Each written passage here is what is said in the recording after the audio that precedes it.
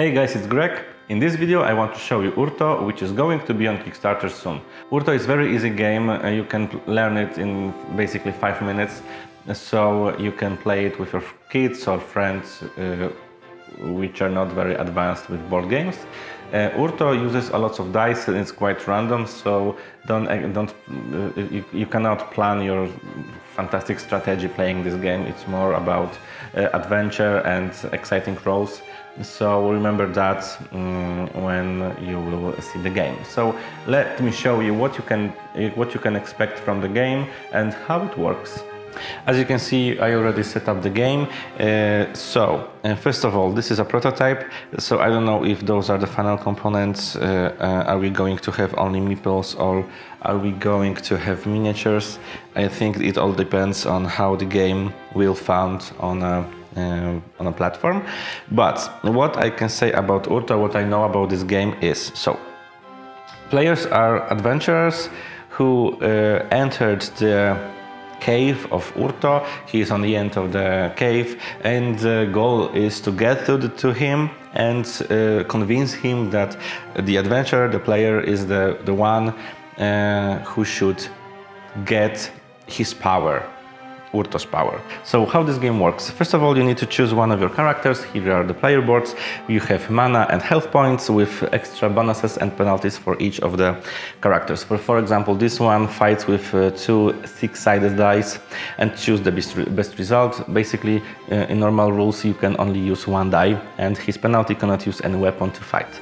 So this is the, the, one, the first one, second one, this is the yellow one, for example, adds plus one to his uh, combat dice results, but his penalty cannot recover health points. So uh, during the rest, when I think during the rest when you can recover one health point and one mana. So the, each of the characters is completely different and asymmetrical, but uh, again, I, am talking about asymmetry, but this is a very simple game, so this is also very simple asymmetry. So what, how this game works and how one round of the game looks like. Basically, you can do two things. You can uh, make a camp and recover one health or, uh, or, and one mana, or you can move by one, so just moving by one.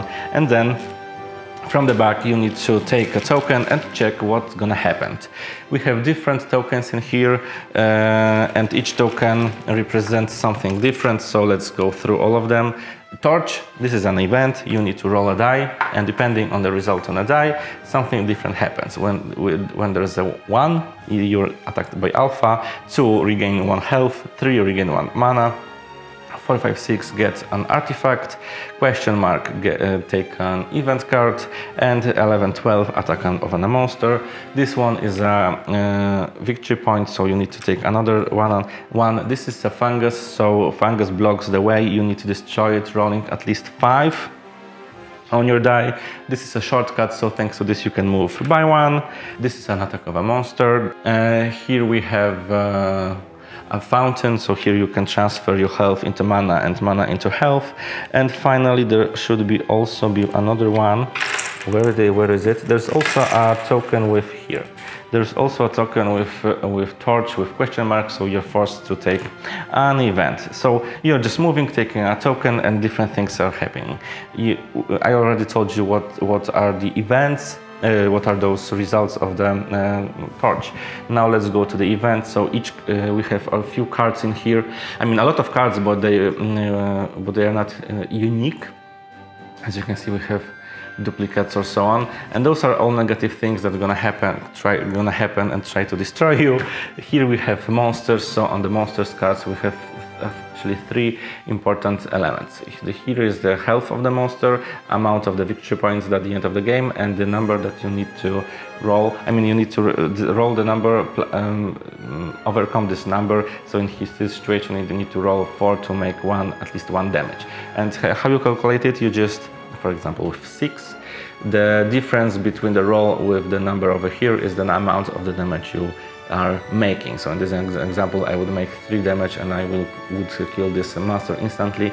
If the result is lower than this, so I will roll 1, the difference is the amount of uh, damage I am taking.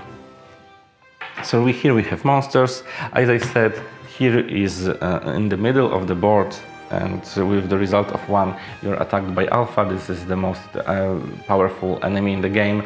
Because um, the only result on the simple the basic die is one there's only six that can do one damage to this monster and he got he have uh, he has five health but also grants 6 victory points.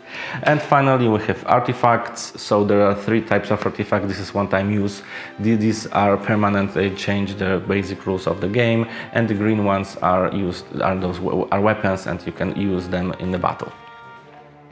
And uh, what else we have here? So in the middle is the alpha that you can fight. Here are, are those dices uh, connected to those special cards uh, special weapons and you can when you get this card you can have only th three artifacts in your hand so just remember that. Um, when you get one of those special artifacts you can use those dice at the end of your round to uh, make an influence on, on your uh, enemies. So sight for example uh, takes health from one of the players. Um, this hammer is over here and depending on the roll different things are gonna happen. So you can get um, you can get health nothing's gonna uh, not, not health mana. Uh, you can uh, throw a rock so take one health point from one of your opponents. You can do it twice. You, all of your opponents are losing health and you're taking a, um, an artifact and I think nothing is happening. So uh, another die and this one is also to make um, this one is also to, for making victory points and artifacts. And the final mechanic that I didn't mention is mana, because you can use, spend your mana to modify, I mean to, to cast spells, let's say, and modify uh, different um, effects uh, and results of your die. So, if you are spending one mana point, you can um, reroll your combat die and just that, that, that's it. Okay, you can change your result. Second, if you was uh, again, you can spend another one point to flee from an opponent. Uh, just uh, encounter ends, and that's it. You don't need to you, need to, you don't need to fight with this enemy. You can spend five points to reinforce your weapon, and that's when, that's the moment when you are changing your six-sided die to eight-sided die, and thanks to this you have more results that can do harm to enemies. And again, final thing, you can spend from one to three points and add uh, this amount of points to the result on a die. So for example, when you have six, you can spend three to have, I think, nine, because I think it's possible to uh, outnumber the result on a die, I think. And basically that's it. When you get here, you, player over there is waiting for other players to be killed or to also get to Urto. And when everyone are there, you just need to compare who got more victory points and the, the, the winner. So as you can see, this is a very simple game very good choice if you want to introduce board games to to your friends but they are they never played anything or you just want to play with your kids um, with some and play something very simple. The game gives me a little bit of feeling of a, a talisman i think because this is also a super random game. Much smaller adventure in talisman is is let's say more epic. This is in, in, a smaller scope. So that's urto if you like this game if you want to have something very simple um, and approachable think about this game and follow their uh, campaign kickstarter campaign. Don't forget to click notification button if you're interested in this title. And uh, that's it. Thank you so much for watching and see you in the next video